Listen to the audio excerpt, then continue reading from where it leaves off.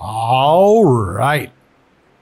Now we're doing free code camp, responsive web design, build a personal portfolio web page user stories number seven. So the nav bar should contain at least one link that we can click on to navigate, pardon me, to navigate to different sections of the page. Okay. So we already set up our unordered list right here. Let's make some list items so that we can uh, use them as, uh, you know, links. So let's say LI right here, and then we'll do a close LI. And what does it say to do?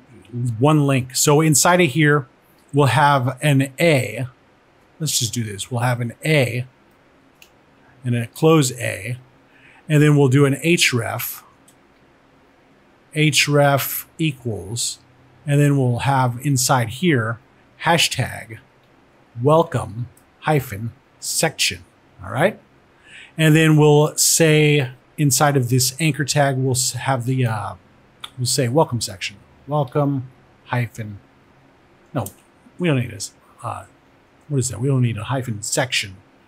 Just a space is good enough. All right. And so when we click it, it uh, basically takes us down to wherever this is. All right.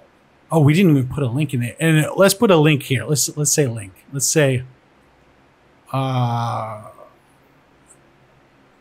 Codeman S YouTube. How about that?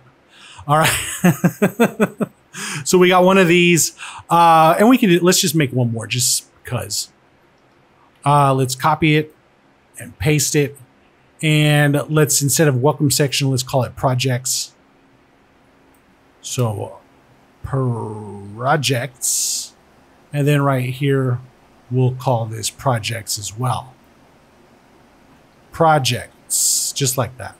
Right. And when we click that, it'll take us down to the projects welcome section if they were further down. Anyway, so that should be good. Let's open up the console, come down here, run the tests. Our profile should have a an A element with an ID of profile link. And so that looks like we're on to what were we on? Seven, eight. So now we're on to user stories number eight. And we'll see you next time.